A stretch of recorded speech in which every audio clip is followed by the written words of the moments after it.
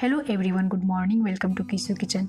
आज हम आप लोगों के साथ शेयर करने जा रहे हैं बैंगन का एक बहुत ही डिलीशियस रेसिपी जिसे अगर आप एक बार खा लेंगे तो बार बार बैंगन को ऐसे ही बनाएँगे और इसकी जितनी भी सारी रेसिपीज़ है उसको आप भूल जाएँगे।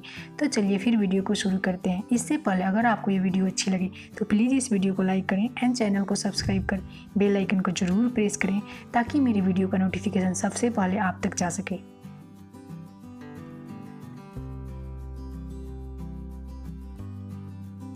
सब्ज़ी को बनाने के लिए हमने यहाँ लिया है छोटा वाला बैगन, जिसको हमने अच्छे से वाश किया हुआ है। आप बैगन कोई भी ले सकते हैं जो आपके पास अवेलेबल हो। अब हम इसको कट करेंगे। हमें इसे पूरा कट नहीं करना है।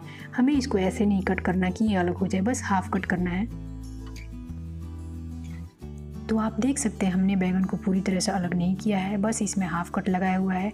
ऐसे ही करके हम बाकी के बैगन को भी काट लेंगे।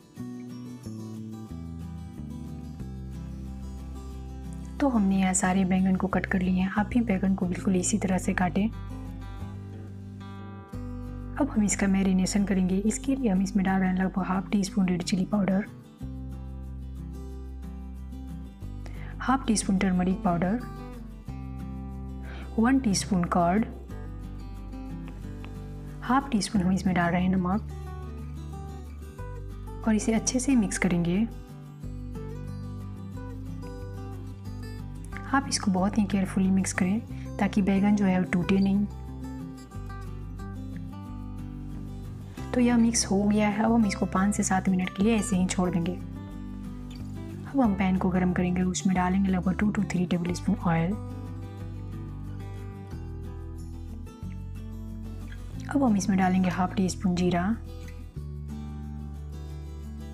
कुछ खड़े मसाले लाइक दालचीनी, जावित्री, छोटी इलायची लौंग। और इसको रोस्ट होने देंगे।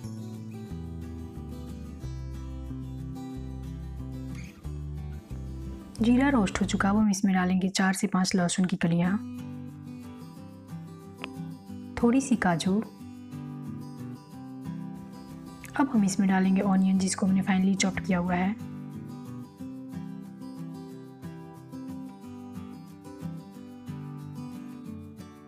चॉप टमाटर। अब हम इसको कंटिन्यू चलाते हुए मीडियम फ्लेम पे दो से तीन मिनट के लिए सॉटे करेंगे ताकि ऑनियन जो है हल्का सॉफ्ट हो जाए। ऑनियन हल्का सॉफ्ट हो चुका है, हमें इसे ओवर कुक नहीं करना है क्योंकि हमको इसका पेस्ट बनाना है।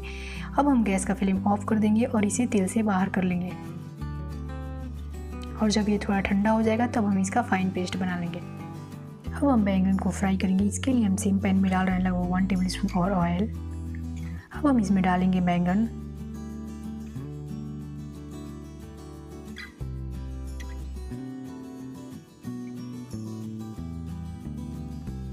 अब हम इसको लगातार चलाते हुए मीडियम फ्लेम पे हल्का फ्राई करेंगे।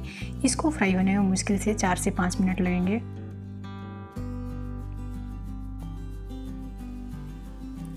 तो बैगन जो है वो हल्का फ्राई हो चुका है। आप देख सकते हैं या ऊपर से हल्का सॉफ्ट हो चुका है। इसे भी अब हम पैन से बाहर कर लेंगे।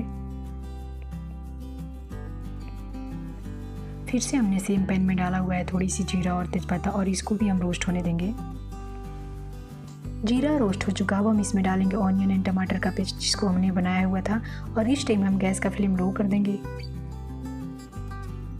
साथ ही हम इसमें डालेंगे बाकी के मसाले। हाफ़ टी स्पून हम इसमें और डाल रहे हैं रेड चिली पाउडर हम यहाँ रेड चिली कम ही डाल रहे हैं क्योंकि हमने बैगन में ऑलरेडी डाला हुआ है। Half teaspoon turmeric powder one teaspoon हम इसमें डाल रहे हैं कोरिएंडर पाउडर थोड़ा सा पानी मसाला को पकने के लिए। अब हम इसे कंटिन्यू चलाते हुए दो से तीन मिनट के लिए कुक करेंगे, ताकि मसाला जो है अच्छे से फ्राई हो जाए। मसाला फ्राई हो चुका है क्योंकि इससे जो है ऑयल सेपरेट होने लगा। अब हम इसमें डाल रहे हैं कॉर्ड और इस टाइम फिर से हम गैस का फ्लेम लो कर देंगे। कई बार क्या होता है कि मीडियम या हाई फ्लेम पे कॉर्ड डालने से कॉर्ड फट जाता है और इसे हम अच्छे से मिक्स करेंगे। अब हम इसमें डाल रहे हैं थोड़ी सी कसूरी मेथी। इससे सब्ज़ी का फ्लेवर बहुत ही अच्छा आता है। नमक नमक आप अपने टेस्ट के अकॉर्डिंग ही रखें।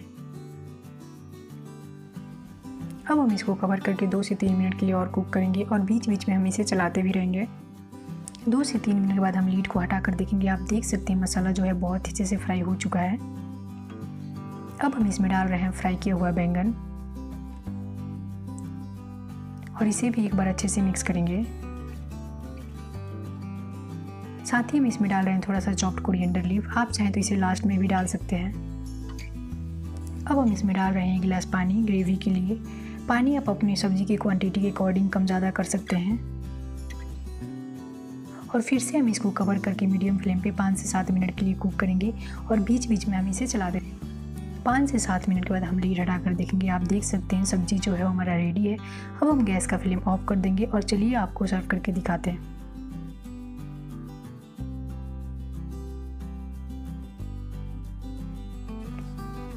तो हमने इसे यहाँ एक बोल में सर्व किया। आप देख सकते हैं, देखने में बहुत ही डिलीशियस दिख रहा है। यह खाने में भी उतना ही टेस्टी लगता है। आप इसे रोटी राइस पराठा या नान के साथ सर्व कर सकते हैं। आप इसे ज़रूर ट्राई करें। और अगर आपको ये वीडियो अच्छी लगे तो प्लीज़ इस वीडियो को लाइक करें शेयर करें कमेंट करें एंड चैनल को सब्सक्राइब कर बेल को ज़रूर प्रेस करें ताकि मेरी वीडियो का नोटिफिकेशन सबसे पहले आप तक जा सके। ओके बाय मिलते हैं फिर आपसे एक नेक्स्ट वीडियो में। तब तक के लिए take care thanks for watching